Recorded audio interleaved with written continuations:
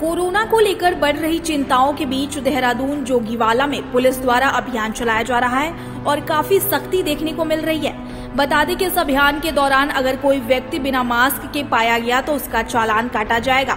फिर चाहे वह व्यक्ति किसी वाहन पर सवार हो या राह चलता मुसाफिर, दोनों ही परिस्थिति में लगातार चलान किया जाएगा।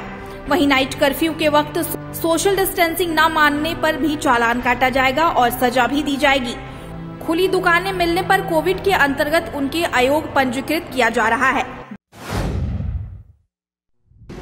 ये हमारे द्वारा जो अभियान है, ये जो जो भी विदाउट मास्क बिना मास्क के जो आ रहे हैं चाहे वो ट्रैवलिंग वाले मोटरसाइकिल से चल रहे हैं या पैदल चल रहे हैं, उनका लगातार चालन किया जा रहा है। सोशल डिस्टेंसिंग में जिस हिसाब से नाइट कर्फ्यू है, अगर कि कोई उस टाइम पे दुकानें खुली रहती है तो उनका तो हम उनके कोविड के अंतर्गत उनमें अभियोग पंजीकृत किया जा रहा है।